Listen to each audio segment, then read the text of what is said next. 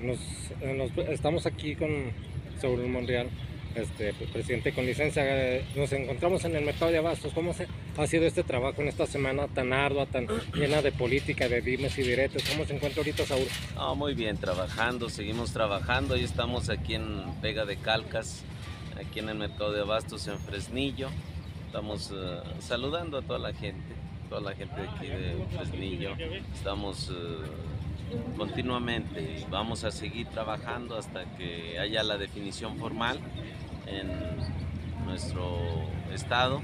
Yo espero que ya en estos días estamos a horas de que se dé por ya la definición a la candidatura al Senado.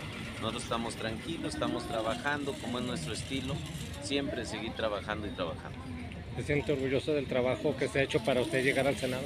Sí, por supuesto. Esto me ha permitido conocer más la problemática, las necesidades y a mí me da mucho gusto venir aquí, no nada más en Fresnillo, estamos en Guadalupe, en Zacatecas, ahorita vamos a otra pega de calcas en Guadalupe y Zacatecas. Entonces estamos trabajando. Hace, en esta misma semana usted subió una fotografía a sus redes sociales donde se alzaban las manos los tres presidentes de Zacatecas. ¿A esta qué se debe? No, pues parte de las definiciones. Yo les agradezco tanto al presidente municipal de Zacatecas, al de Guadalupe y muchos presidentes que han estado al pendiente.